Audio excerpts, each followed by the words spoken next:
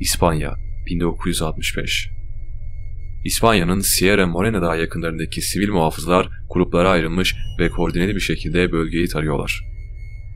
Yarım saat sonra bir muhafız yakınlarda bir şey olduğunu keşfediyor.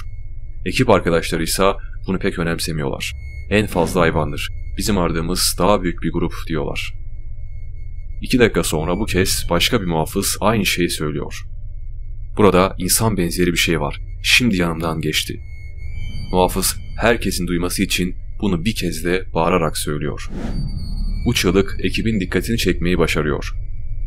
O andan sonra bunun ilgilenmeleri gereken bir mesele olduğunun farkına varıyorlar. İki düzüne muhafızdan oluşan ekip hemen seslerin yoğunlaştığı bölgeye yöneliyor. Yaklaştıklarında ağacın kenarında oturan bir çocuğun onlara doğru baktığını görüyorlar. Çocuk hırlıyor ve garip sesler çıkartıyor. İki muhafız sorun yok sakinleş diyerek ona doğru sokuluyor ve çocuğu kıskıvrak yakalıyor. Muhafızlar onunla konuşmaya çalışıyorlar. Fakat o ne konuşabiliyor ne de söylenilenleri anlayabiliyor. Çocuğun vahşi davranışları kesilmeyince onu bağlıyorlar ve yanlarına alıyorlar. Aslında bir çocuk olmaktan ziyade o bir gençti. Yaşı tahminen 18-19'du. Ama bir insan gibi ayakta yürümekte zorluk çekiyor, daha önce hiç insan görmemiş gibi davranıyordu. Muhafızlar onu köye getirdiğinde daha da asileşmişti. Sürekli etrafına saldırıyordu. İçmesi için bir kase çorba uzattıklarında bir takım garip hareketler sergilemişti. Sanki hayatında hiç sıcak bir şey yememiş gibi davranıyordu. Çatal ve bıçağı ilk kez görüyor gibiydi. Ekip yetkili birimlere haber gönderdi ve onu köyde bırakıp gitti. Polisler bir gün sonra köye geldiler ve çocuğu alıp götürdüler. Herkesin aklında aynı soru vardı. O ormanda ne yapıyordu? Nereden gelmişti? Hikayesi neydi? Bir ailesi olmalıydı. Fakat onları bulmak o kadar kolay olmayacaktı. Araştırmalar bir hafta sonra sonuç verdi ve ortaya çok trajik bir tablo çıktı. Onun ismi Marco Rodriguez Pantoca'ydı. 1946 yılında İspanya'nın Cordoba eyaletinde dünyaya gelmişti. Doğumundan kısa bir zaman sonra ailesi Madrid'e göç etti. Madrid'de Marco henüz 3 yaşındayken dördün çocuğuna hamile olan annesi doğum sırasında hayatını kaybetmişti. Bu acı kayıptan sonra babası dul bir kadınla evlendi. Üvey annesi Marco ile iyi anlaşamıyordu. Çok daha sonra Marco'nun anlattığına göre ona şiddet uyguluyor ve sürekli sözlü tacizde bulunuyordu. Marco 5 yaşına geldiğinde ailesi Sierra Morena'ya yerleşti. Durum iyi olmayan ailesi çareyi burada kömür üretmekte bulmuştu. Marco 7 yaşına kadar ailesiyle birlikte yaşadı. 7 yaşına girdiğinde her şey değişti. Artık o tarihlerde ne olduysa babası para karşılığında Marco'yu bir çobana verdi. Belki de çoban gönüllü olarak Marco'yu sahiplenmişti. Bu kısım pek bilinmiyor. Çoban toprak sahibi günün yarısını koyun ve keçileriyle geçiren bir adamdı. Marco'yu ona hizmet etsin diye sahiplenmişti. Marco çoban elinden tuttu ve tam 12 sene geçireceği Sierra Morena Dağı'nın en ıssız yerlerine doğru yola çıktı. 300 hayvanı olan çoban, Marco'ya ateş yakmayı, hayvanların davranışlarının anlamlarını, yabani bitkileri ve mutfak aletlerinin nasıl kullanılacağını öğretti. 12 yıl sonra çoban bilinmeyen bir nedenden hayatını kaybetti ya da bir anda kayboldu. Zaten koyunları kalmamış ve yaşlanmıştı. Marco 7 yaşındayken çıktığı dağda tam 12 sene zorlu bir yaşam sürmüş ve bu serüvende vahşi bir insan gibi yaşamıştı. Çoban öğrettikleri sayesinde dağda tek başına hayatta kalmayı başardı. Tavşan ve keklik avlamayı biliyordu. Yakaladığı bir geyin derisini üzdü ve uzun seneler o deriyle yaşadı. Hayvanlar ne yediyse Marco da onu yedi.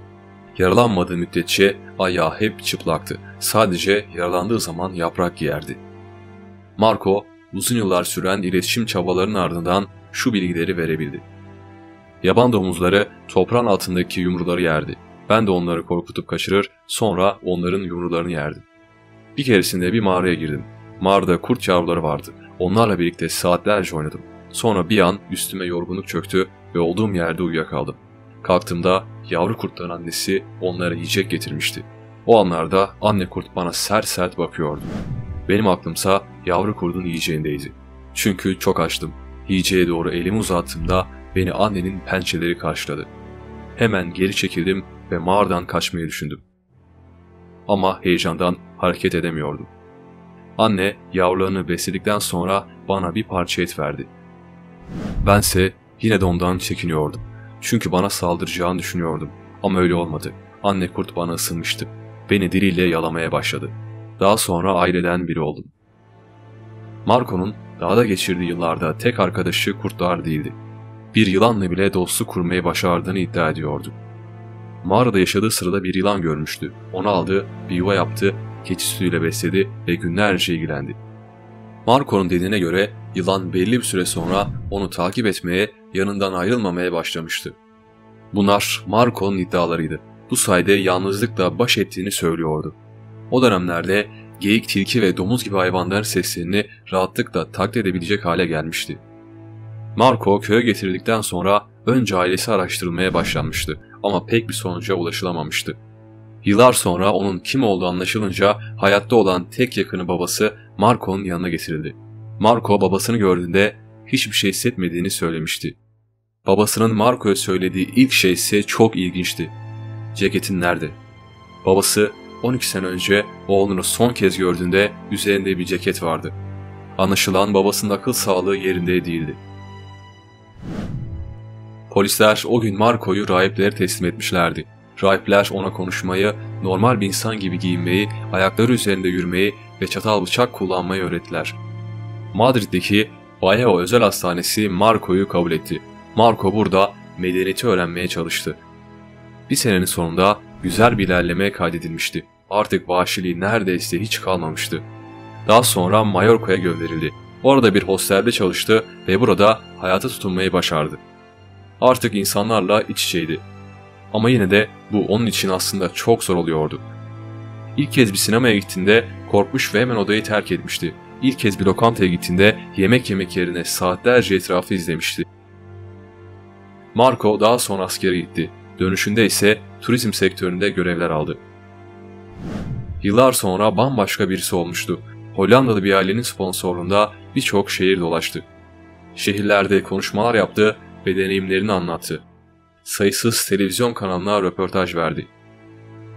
1975-76 senelerinde antropolog ve yazar Gabriel Hanner Manila Marco'yu yakından inceledi. Gabriel'e göre Marco'nun terk edilişi çok normal. Çünkü o yıllarda süre gelen sefalet birçok aileyi bunu yapmaya zorluyordu. Aşırı yoksulluk o dönem bu olayı normalleştirmişti. Marco, doğada hayvan sesinden başka bir şey duymadığı için konuşmayı unutmuştu. Bazıları onun çobanla da hiç konuşmadığını, 12 yıldır hiçbir insanla konuşmadığını iddia ediyordu. Zamanla hayvan seslerini taklit etmeye başladı ve insan sesini tamamen unuttu. Çünkü hiç kullanmıyordu.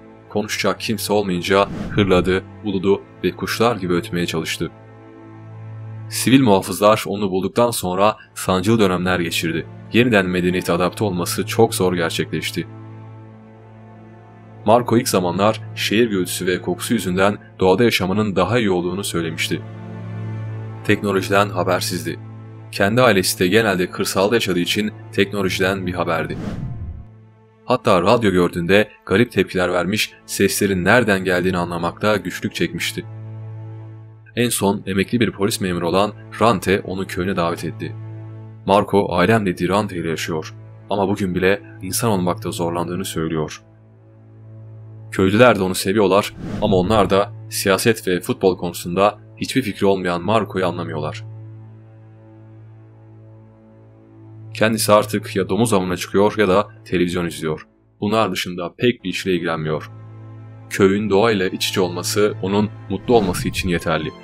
Şu an 74 yaşında ve nerede olsa hala onunla görüşmek için köyüne gelenler oluyor. Videoyu beğendiyseniz lütfen abone olmayı ve bildirimleri açmayı unutmayın.